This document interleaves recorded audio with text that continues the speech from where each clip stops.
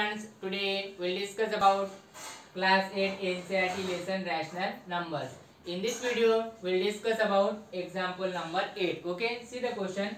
Find a rational numbers between 1 by 4 and 1 by 2.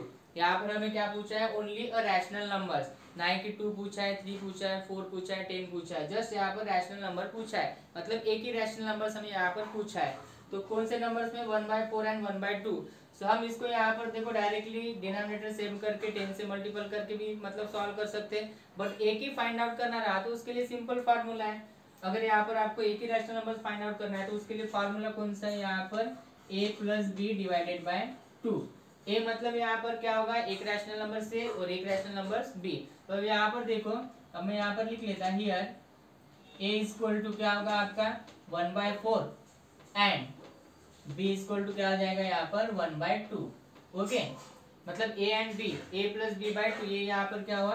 Rational numbers find out करने का formula single अगर find out दो भी find out करना रहा, तब भी हम यूज़ कर सकते हैं ओके पर सिंगल अगर फार्मूला मतलब सिंगल ही फाइंड आउट करना रहा तो जनरली ये फार्मूला यूज़ करना A by B divided by two अब यहाँ पर देखो, अब किस किस तरह से सॉल्व करना है? ए प्लस बी अब यहाँ पर देखो ए क्या है? यहाँ पर वन बाय फोर है और बी क्या है? वन बाय टू है. सो ए प्लस बी मतलब ये क्या होगा? One by four plus one by two divided by क्या आ जाएगा यहाँ पर? टू ओके अब यहाँ पर देखो, इसको सॉल्व करते, करेंगे यहाँ पर।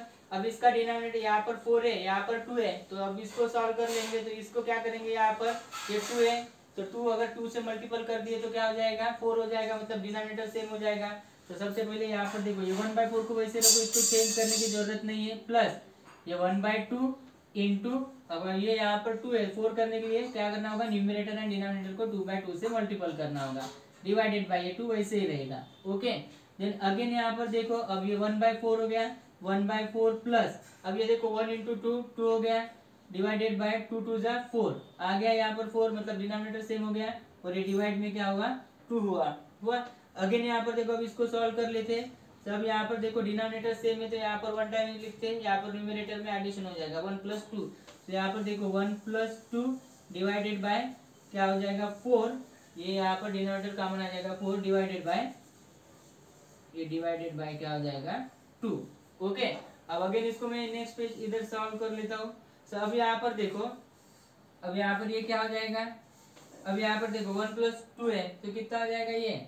ये three by four divided by divided by two okay अब इसको हमें सॉल्व करना है। तो क्या होगा? अब यहाँ पर देखो three by four divide by two है। तो मैं इसको इस फॉर्म में लिख सकता हूँ। Three by four divided by two by one इसके डिनोमिनेटर में कुछ भी नहीं मीन्स वन है। ओके जस्ट मैं यहाँ पर स्टेप बढ़ा रहा हूँ। आप शॉर्ट कर सकते हो, बस समझना इंपॉर्टेंट है। नाउ इसका रेसिप्रोकल हो जाएगा। थ्री बाय फोर है। थ्री बाय फोर अब ये यहाँ पर रेसिप्रोकल हो जाएगा तो वन ऊपर चले जाएगा टू क्या आ जाएगा, नीचे। तो मल्टीपल करने के बाद ये क्या हो जाएगा यहाँ पर? ये वन ऊपर चले जाएगा और टू नीचे रहेगा।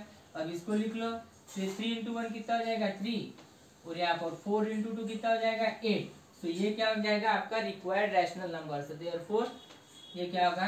Three by eight is required required rational number rational number between between 1 by 4 1 by 4 and one by two okay बहुत ही सिंपल था जस्ट यहाँ पर ये फार्मूला यूज़ करना था ओके तो ये फार्मूला अगर सिंगल फाइंड आउट करना रहा तो जनरली ये फार्मूला यूज़ करना और फाइंड आउट करना ओके सो आई होप कि आपको ये अच्छी तरह से समझ में आ गया होगा। ना इसका नेक्स्ट प्रॉब्लम देखते हैं नेक्स्ट वीडियो थैंक यू